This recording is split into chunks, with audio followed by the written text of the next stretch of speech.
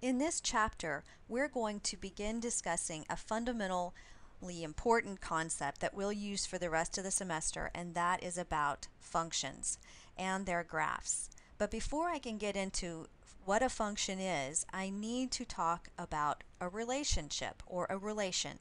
Let's use this bar graph down here to discuss that. Here I have a chart that shows your chances of survival to various ages once you reach 60. So if you are the age of 70, your chance of survival rate would be 86%. If you're 90, your chance of survival rate would be 24%, and so on.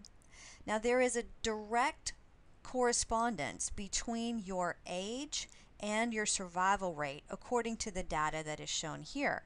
And when we have that direct correspondence, we can represent that correspondence mathematically in ordered pairs like we're used to seeing. So the ordered pair that would be represented by the data that's in that chart would look something like this. This is the set of data contained in that chart. Sets being given by, I know it's a set of data because of the bracket bars that you see here on the very outside. And contained within that set are the one, two, three, four ordered pairs represented by the graph or the bar chart. Now, in the ordered pair, we have our age value as well as the survival rate. Okay, and each one of these ordered pairs is unique, right? The age of 70 is unique to an 86% survival rate. The age of 80 has its unique survival rate of 60%. So each of these relations are, um, a correspondence between these two concepts.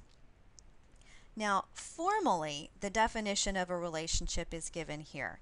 It's a set of ordered pairs where the first component of the ordered pair is the domain and the second is called the range. This is just rewriting the ordered pairs that we had given above, where the leftmost circle over here is depicting the domain and the rightmost circle is the range. And you can see that my value, my age of 70, is corresponds with the survival rate of 86%. Now, I always think of domains and ranges, independence and dependence kind of um, when I think of independence and dependence, I usually have to go backwards, or it helps me think that way. Independent, uh, excuse me, dependent values determine or come from our range. And if I think about dependence, I think, well, these values here in my range depend upon the domain. And that makes sense because my survival rate depends on the age at which I am.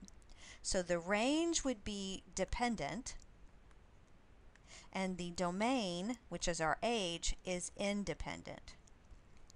Okay, so again, the range are in are dependent values and they depend upon the domain that we started with. My survival rate depends on the age at which I am. So this is the definition of a relation and we're going to build it even further to talk about a function.